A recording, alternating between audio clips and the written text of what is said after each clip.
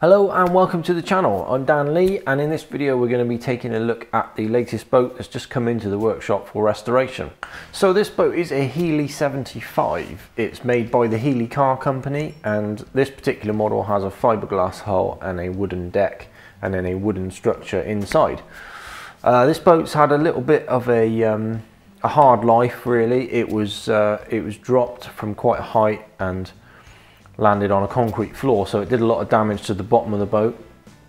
Um, the boat was then consequently repaired as an insurance job, and um, basically the entire internal structure was fiberglassed over with chopped strand and polyester, and um, the resulting boat was incredibly heavy and quite a mess as well. So we ended up with these huge slabs of polyester inside the boat, which you can see us trying to peel away from the original um, hull skin there.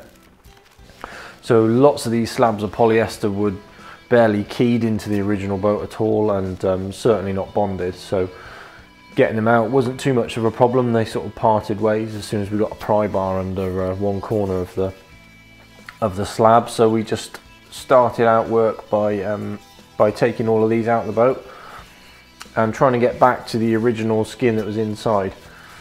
We also decided to pretty much cut every structural timber out of this boat. So half of that had already been done uh, before we got the boat in. So it sat for some time on its trailer with not too much structure inside it. So the bottom of this boat is a little bit out of shape and that's going to be one of our jobs is to uh, get that back into shape again.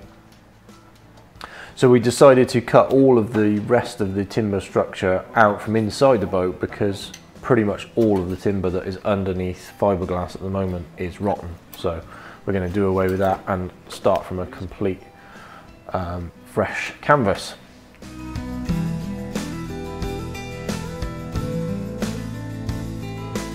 So you'll notice that there is uh, somebody else appearing in my videos now. So this is Will and uh, he's been working for for me uh, three days a week just recently. So um, it's good to have an extra pair of hands in the workshop. It's certainly helping move projects along.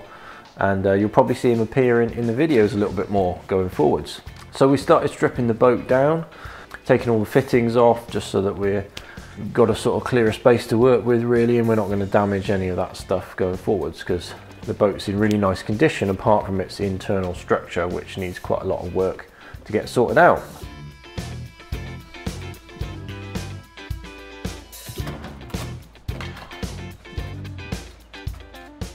So you can see the forward frame there, that's frame number one, which we dug out from under some polyester right up uh, forward in the boat, and it's in a pretty bad shape.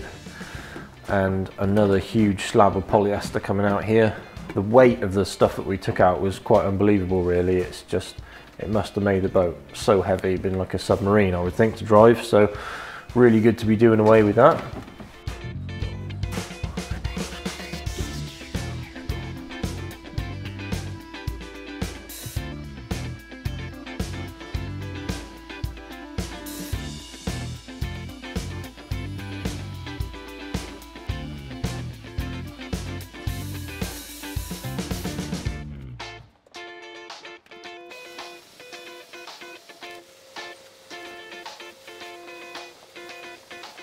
So then once we got all the timber sections cut out of the boat, we decided to grind back nice and hard on uh, the existing surface that was there. So we've got a good, clean, well-keyed surface to, to build from. So what we're gonna do is layer a new layer of glass on the inside of this boat and just rebuild some of that thickness that's been taken away from the bottom there because it's a really thin skin on this boat. So we'll be doing that in the coming weeks, putting, uh, some more glass back into the bottom there, but we'll be using epoxy this time, not polyester. So we'll make sure that we get a good bond to the existing skin. And then it was just a continuation of cutting bits out really. So every bit of timber that was in there that we couldn't see, we wanted to remove just to make sure. And sure enough, as you can see from the stem timber there, pretty much everything we found was rotten or on its way to being rotten. So it was a pretty nasty job. You can see me and Will there both in Tyvek suits and masks and uh, just a couple of weeks of grinding fiberglass and cutting pieces out. That's the bit of timber up from the sort of skeg up into the stem there and uh, you can see it's in a pretty bad shape.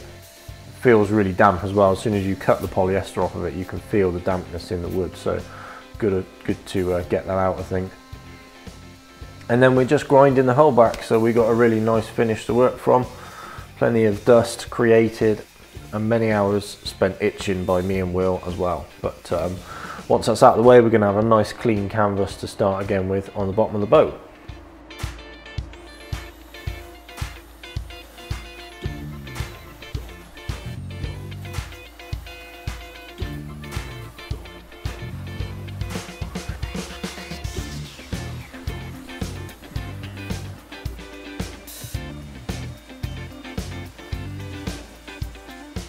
So there we go, you can see the finished hull all cleaned up, all the timber structure removed and uh, ground back nice and clean to, uh, to start the next load of work.